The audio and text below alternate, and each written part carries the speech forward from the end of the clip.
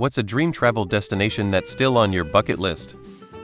Always wanted to go to Austria or Switzerland. The Lakes District in England, Ireland, Scotland. I'd love to visit Maine.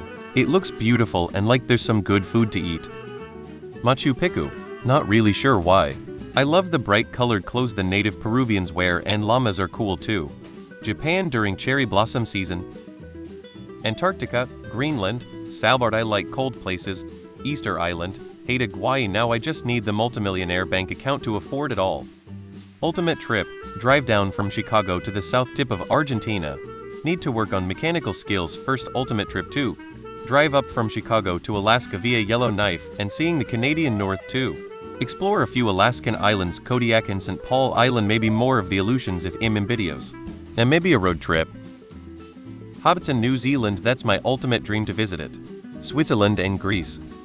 Bora Bora, Iceland. Estonia. Istanbul, Rome, Persepolis, Christmas time in Switzerland, Austria, Bavaria, the pyramids.